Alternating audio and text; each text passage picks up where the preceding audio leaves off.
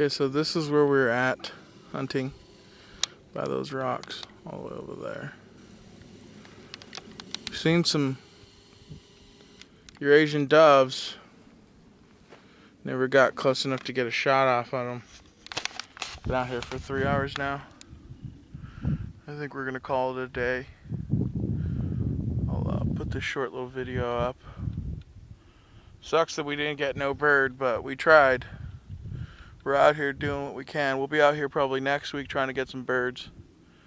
But uh, just wanted to give you guys a little view of what it looks like where we're out hunting.